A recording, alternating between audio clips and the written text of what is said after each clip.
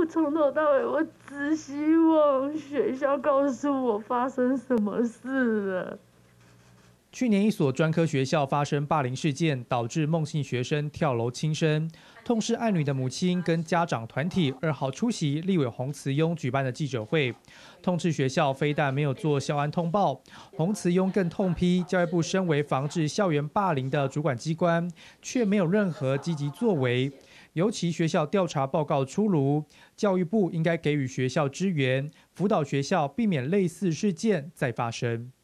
这个学校。知道小孩遭受霸凌、遭受语言的霸凌，辅导室有相关的记录，但是他没有做任何的相应处理。我们在整个事件结束之后，我们一个小孩子离开了这人世间，然后呢，我们教育部提出了什么样全面性的建议，然后给予学校什么样的支持，跟建构怎么样的一个体制，到目前我们完全看不到。对此，教育部回应：霸凌事件发生后，教育部会成立访视小组，并且提出访视报告，给予学校建议。之后也会再开会，了解学校改进方向。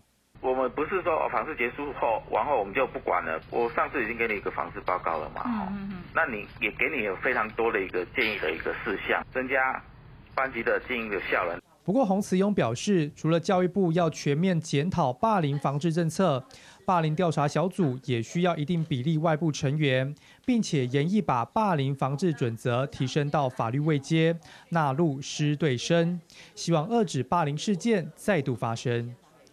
原新闻 Number W One 立法院采访报道。